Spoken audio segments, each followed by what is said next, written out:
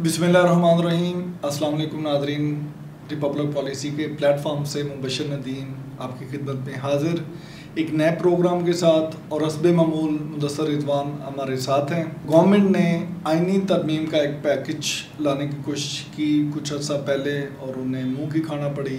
उसकी बहुत सारी वजूहत थी, नंबर स्कीम पूरी नहीं थी या मसवदे के जो मंदरजात थे वो उन तक नहीं पहुँचे थे या कोई और वजह भी थी। तो वो आइनी तरमीम पेश ना कर सकें और ना ही पास करवा सकें। इसी मौजू पे बात करने के लिए हम मुदसर रिजवान से जानेंगे कि गवर्नमेंट एक दफ़ा फिर कोशिश कर रही है कि आइनी तरमीम किसी तरीके से हो जाए।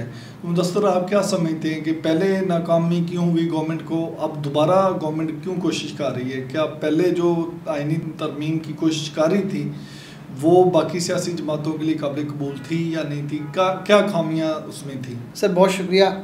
हुकूमत ने जो पहले तरमीमी मुसवदा जो इरादा हुकूमत रखती थी कि उसको नेशनल असम्बली और जो सैनट है उसमें पेश किया जाए तो उसमें जो बुनियादी जो नाकामी की वजह वो तो वो आपने जिस तरह अपने तारफ़ में भी बता दी कि वो नंबर पूरे नहीं थे, यानी दो सौ चौबीस मम्बरान की सपोर्ट हासिल होनी चाहिए थी, ये जो मुसवदा था उसको अगर हुकूमत नेशनल असम्बली में इस बिल को पास करवाना चाहती थी और चौंसठ जो सैनिटर्स हैं, उनको सपोर्ट करना था इस बिल को, अगर वो सेनेट से पास होना था।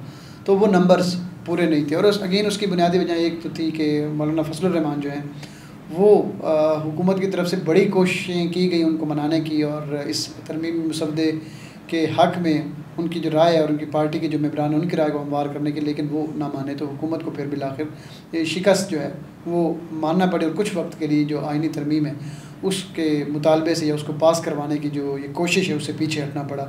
और अब फिर जो आपने बात की अगली कि उसमें जो सियासी जमातें क्या उनकी इतफ़ाक़ राय था तो जो हुक्मरान जमातें जिसमें दो बड़ी जमातें इस वक्त बरसर इकतदार है पाकिस्तान पीपल्स पार्टी और पाकिस्तान मुस्लिम लीग नून। इसी तरह एम क्यू एम है और दो जमातें। उनकी तो सपोर्ट हासिल थी, लेकिन जो अपोजिशन है जिसमें सबसे पहले तो पाकिस्तान तहरीक इंसाफ है और उसके अलावा फिर जो जमीयत इस्लाम एफ़ यानी फजलरहमान साहब का जो ग्रुप है तो उन्होंने शदीद इसकी मुखालफत की और इसको आइन पे, कानून पे हमला करार दिया और उस मुखालफत की वजह से हुकूमत फिर बैकफुट भी चली गई। अच्छा दसर गवर्नमेंट को इतनी जल्दी क्यों है ये आइनी तरमीम जो पैकेज ला रहे हैं? इसकी इतनी जल्दी क्या है? क्यों मतलब ये इतनी जल्दी कर रहे हैं कि ये अमेंडमेंट जो है एज सुन एज पॉसिबल जो है, वो कौमी असम्बली से भी और सैनट दोनों अवानों से ये पास हो जाए। अच्छा सर, इस सवाल का जवाब जानने के लिए हमें थोड़ा सा इसका बैकग्राउंड देखना होगा। वो ये है कि आपको याद होगा कि इस्लामाबाद के, इस्लामाबाद हाई कोर्ट में छः जजेस ने एक ख़त लिखा था चीफ जस्टिस ऑफ़ पाकिस्तान के हवाले से। कि भाई हमें मुख्तलिफ़ तरीक़ों से जो एग्ज़ीकटिव्स हैं एग्जीक्यूटिव के इदारे हैं, उनकी तरफ़ से प्रेशराइज़ किया जाता है। और आप इस हवाले से फिर कोई एस ओ पीज़ हमारे लिए तय तय करें और हमें बताएँ कि फिर हमारा रवैया क्या होना चाहिए था। तो एक ये थी, चीज़ थी। और उसके अलावा एक फिर जो मखसूस नशस्तों का जो केस सुप्रीम कोर्ट में, फुल कोर्ट जो सुन रही थी, उसमें जो मेजॉरिटी जजेस ने जो फ़ैसला दिया जिसमें उन्होंने ये कहा कि जो इलेक्शन कमीशन ऑफ़ पाकिस्तान है, उसने सुप्रीम कोर्ट के फ़ैसले को न सिर्फ़ गलत इंटरप्रेट किया, बल्कि उन्होंने एक तरह से जो पीटीआई को इलेक्शन में बतौर पार्टी हिस्सा लेने पे पाबंदी लगाई, वो भी दरअसल गलत उनकी इस्तलाल था। और ये जो मखसूस नशस्त हैं, ये दरअसल पी टी आई इसके हकदार है। तो ये दो वजूहत हैं, जो बहुत बड़ी वजूहत बनी, कि जिसके बाद हुकूमत को लगा कि जो जजेज़ हैं और जो हमारे जो रियाती इदारे हैं, उनको ये लगा कि जो जजेज़ हैं, ये हमारे शायद उस तरह से कंट्रोल में नहीं हैं। तो उनको कंट्रोल करने के लिए फिर ये आइनी तरमीम जो है, ये काफ़ी अर्से से आपको याद होगा कि इसकी बातें चल रही तो फिर ये मुसवदा पेश आया। और अब जो जल्दी वाला सवाल है, और उसमें जल्दी यही है कि जो मौजूदा चीफ जस्टिस काजी फ़ाइज़ ईसा साहब हैं, जिन्होंने अब पच्चीस अक्टूबर को रिटायरमेंट उनकी यानी हो जाएगी। तो हुकूमत के ख्याल में ये एक ऐसे यानी चीफ जस्टिस हैं, जो हुकूमत की तरफ़ थोड़ा सा इनका हमदर्दाना व्यू है। और अगर ये मुद्दत मुलाजमत में रहते हैं तो फिर शायद हमें, हमारे लिए थोड़ा सा आसानी और इसकी एक और वजह भी है कि जो आने वाले चीफ जस्टिस हैं, उनके हवाले से बताया जा रहा है कि हो सकता है वो जो इलेक्शन ट्रिब्यूनल्स का केस है, उसको ओपन करें या जो ये पूरा इलेक्शन है जिस पे जिसकी पे बहुत बड़े सवाल हैं, जो इलेक्शन के मुबसरीन हैं जिस तरह इवन अपनी रिपब्लिक पॉलिसी की भी रिपोर्ट्स और भी सर्वेज़ हैं तो में से भी बड़े सवाल हैं। तो एक तो ये खौफ है कि जो आने वाले चीफ जस्टिस वो शायद पूरे पूरे जो इलेक्शन है, उसकी जो धांधली और दीगर इल्ज़ाम हैं, उनको ही ना सुनना शुरू कर दें और इस हुकूमत का अपना जो इकतदार है, वो ख़तरे में पड़ जाए। और दूसरा कि जो मौजूदा चीफ जस्टिस हैं, ये शायद जो है, हुकूमत की तरफ़ वो थोड़ा सा लीनियट है। तो अगर हम इनको रखते हैं इस अहदे पे, उनको तोसी देते हैं तो फिर शायद हमारे लिए आगे चल के आसानी होगी। तो असल जो जल्दी है, वो यही है। अच्छा मुदसर आप समझते हैं कि ये जो डिस्ट्रिक्ट को कंट्रोल करने के लिए आईनी पैकेज लेके आ रहे हैं दूसरा, आप क्या समझते हैं कि क्या मैन स्पेसिफिक कॉन्स्टिट्यूशनल अमेंडमेंट जो है, वो होनी चाहिए? तीसरा, साथ ही इसके एक ज़मनी सवाल भी ले लें कि अगर ये अदलिया की असलाहत या अदलिया की बेहतरी के लिए अमेंडमेंट हो रही है तो फिर इतनी तनकीद क्यों है? जी सर, ये बड़ा अच्छा एक सवाल है और बड़े ज़ाहिर हुकूमत की तरफ़ से चूँकि जस्टिफिकेशन दी जा रही है, वो यही है कि जी अदलिया की असलाहत के लिए हम ये जुडिशल पैकेज लेके आ रहे हैं। इस बात में तो कोई दो राय नहीं है कि अदलिया में असलाहत नागजीर है और ये वक्त की एक बहुत ही अशद ज़रूरत है। और इस हवाले से पाकिस्तानी जो अदलिया का इंटरनेशनल लेवल पर जो मैार है, वो वो भी कोई बहुत अच्छा नहीं है। और आम, हम एज ए साइल अगर हम चले जाएँ किसी भी लोअर कोर्ट में, कोई भी हमारा मुकदमा हो तो हमें पता है कि हमारा जो निज़ाम इंसाफ है वो किस कदर बसीदा नकारा और आम आदमी के लिए मुश्किल पैदा करने वाला है। तो उस हवाले से तो बिल्कुल इस बात पे हुकूमत से या कोई भी ये बात करता है कि रिफॉर्म्स होनी चाहिए उसमें तो कोई शक नहीं। सॉरी मैं बात कर रहा हूँ। क्या ये सुप्रीम कोर्ट की हद तक अमेंडमेंट्स होनी चाहिए या जो लोअर कोर्ट्स हैं हमारी वहाँ तक भी ये जी जी मैं दरअसल उसी तरफ़ आ रहा हूँ। कि अदलिया की जो रिफ़ॉर्म है ये बिल्कुल वक्त की ज़रूरत है। लेकिन अब हमने ये देखना है कि अदलिया के रिफ़ॉर्म्स कहाँ से स्टार्ट होंगे। अब हुकूमत का एक बहुत बड़ी जो इस बिल में आपने बिलावल भुट्टो साहब के मुँह से भी सुना होगा दीगर जो विफाकी वज़ीर कानून है उनके मुँह से भी आपने सुना होगा कि केसेस का जो बैकलॉग है यानी जो केसेस है वो अल्तवा का शिकार है। तो अगर आप स्टैटिस्टिक्स की बात करें तो जो मेजर केसेस हैं वो तो लोअर कोर्ट्स में पेंडिंग पड़े ठीक है? और उसकी बुनियादी वजह क्या है? कि हमारे यहाँ जो जजेज़ हैं, चाहे वो कला हैं या जो टेक्नोलॉजी है, उसकी इतनी इनपुट नहीं है वीडियो लिंक के ज़रिए हाज़िरी नहीं है डिले पर डिले हमारे यहाँ एक चला नाम है और कई सारी उसकी वजूहत हैं। तो और इसमें सबसे बड़ा एक कैपेसिटी इशू भी है कि मतलब तादाद में जो जजेज़ हैं वो हमारे पास मौजूद नहीं है। केसेस का बर्डन है। तो असल अगर आपने वाकई रिफॉर्म करने तो वो तो लोअर कोर्ट से स्टार्ट होगी, जहाँ पे आम आदमी को मैक्सिमम वास्ता पड़ता है।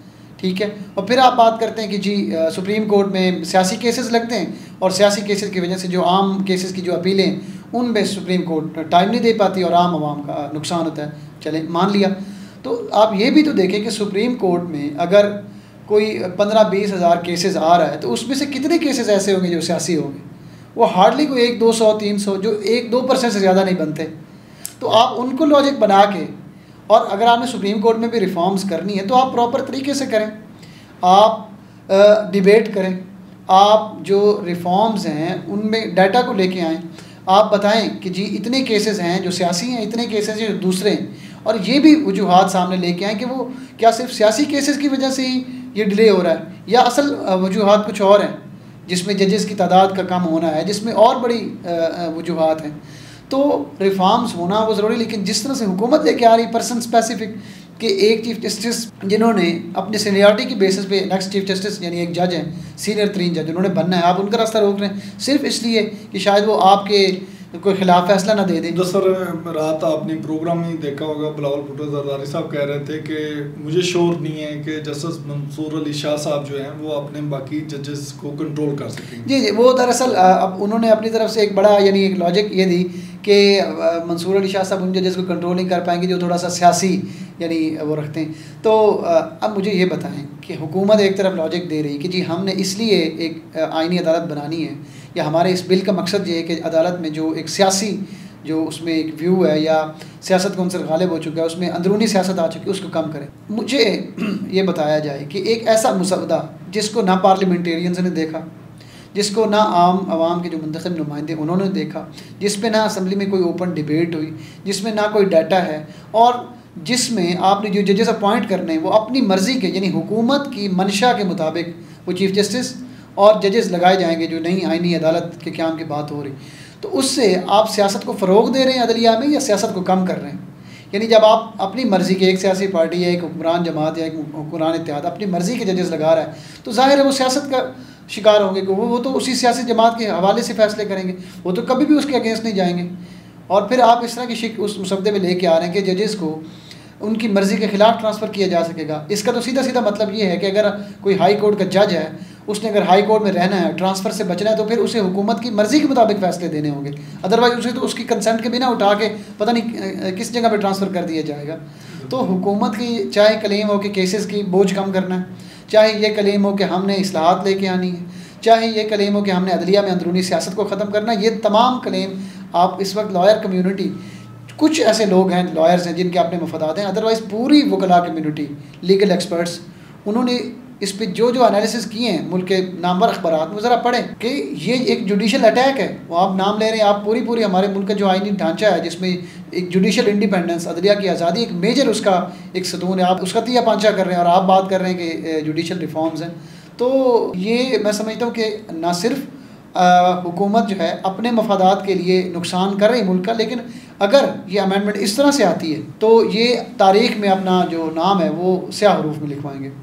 अच्छा मुदसर मुझे ये बताइएगा कि जिस तरह आपने हमने अमेंडमेंट की बात की, हुकूमत लाना चाहती है और हो सकता है कि ये जो एस सी ओ की समिट है या हमारा जो अजलास होने जा रहा है, इसके बाद वो फ़ौर पार्लियामेंट में अपनी अमेंडमेंट्स की जो हैं, वो पेश कर देगी तारीख। अगर उनकी तो गवर्नमेंट की हैं इलेक्शन कमीशन से, कल भी स्पीकर कौमी असम्बली ने एक लेटर लिखा है चीफ इलेक्शन कमिश्नर को। अगर रिज़र्व सीट्स नहीं मिलती जो कि तो का रही गवर्नमेंट के रिज़र्व सीट हमें मिल जाए। अगर वो नहीं मिलती तो क्या गवर्नमेंट के पास नंबर पूरे हैं कि वो ये आइनी तरमीम कर सके या मौलाना फजलरमान उनके साथ मिल बैठेंगे? जी, ये बड़ा एक, हुकूमत के लिए एक बड़ा सर दर्द है इस वक्त नंबर्स को पूरा करना और जहाँ तक आपने स्पीकर के ख़त का हवाला दिया तो बिल्कुल उन्होंने ख़त लिखा। लेकिन अभी इलेक्शन कमीशन ने एक बार फिर जब ये तफसीली फ़ैसला है तो उसके बाद फिर इलेक्शन कमीशन ने सुप्रीम कोर्ट से रजू किया और फैसले के हवाले से थोड़ी सी एक्सप्लेनेशन मांगी। तो अब ये देखना पड़ेगा कि एक तरफ़ इलेक्शन कमीशन ख़ुद अभी उस फैसले पे एक्सप्लेनेशन चाह रहा है सुप्रीम कोर्ट ऑफ़ पाकिस्तान से। और एक तरफ़ स्पीकर कहने कि आप, चूँकि इलेक्शन अमेंडमेंट एक्ट आ गया है और चूँकि अब जो है, जो नशस्तें हैं, वो आप जनाब दे दें जो दीगर पार्टियाँ पी टी आई के अलावा। तो ये देखना होगा कि इलेक्शन कमीशन सुप्रीम कोर्ट के वो जो एक्सप्लेनेशन है, उसका इंतज़ार करता है कि उधर से एक्सप्लेनेशन आ जाए, तब हम नशस्तें दें, या चूँकि हुकूमत की जल्दी को देखते हुए वो ये नशस्तें दे देते हैं। बहरहाल हर दो सूरतों में मैं समझता हूँ कि इलेक्शन कमीशन का ये इकदाम और अगर जो नशस्तें मिल जाती तो भी ये कल को चैलेंज होगा। और जहाँ तक बात है कि अगर नशस्तें नहीं मिलती तो फिर क्या होगा? तो अभी तक तो जो नज़र आ रहा है तो मौलाना फजल रहमान ने जो पिछले दिनों में बयान भी दिए तो वो कम अज़ कम ये हुकूमत जिस तरह से तरमीम अब लेके आना चाहती है, यानी आइनी उसमें अदालत और दीगर चीज़ें, जो पहले मुसवदा आया था, उस पर तो मौलाना फजल रहमान ने साफ़ इनकार किया। हाँ उन्होंने एक चीज़ ज़रूर कही है कि चाहे आइनी अदालत के हवाले से हो या दीगर कुछ इशूज़ पर उन्होंने अपनी रजामंदी ज़ाहिर की। लेकिन उन्होंने साथ ही कहा कि हम अपना जुडिशल जो पैकेज है जो मुसवदा है यही छब्बीसवीं तरमीम का वो हम ख़ुद भी तैयार कर रहे हैं और हम वो भी आ, सामने लेके आएँगे। तो यानी मुझे इस सूरत हाल में ये लग रहा है कि मौलाना फजल रहमान की तरफ़ से शायद उस तरह से हुकूमत को सपोर्ट ना मिले।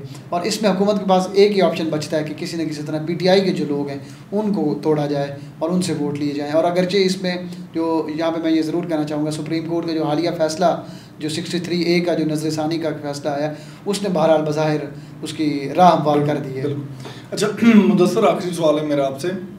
सवाल ये कि इस आइनी तरमीम को लेके जो गवर्नमेंट पाकिस्तान पैकेज लाना चाह रही, इसमें अपोजिशन का करदार क्या है? और ख़ास कर पाकिस्तान तरीके इंसाफ और जो बाकी दूसरी पोलिटिकल पार्टी जिसमें जमीयत है, इस्लाम, मौलाना फजलरमान ग्रुप की आपने पहले भी बात की, इनका अपना नुक़ नज़र क्या है इस पैकेज को लेके? इस वक्त मौलाना फजल रहमान के जो नुक़ नज़र उनकी बड़ी तारीफ़ हो रही है और मैं समझता हूँ एक उसूली मौक़ है।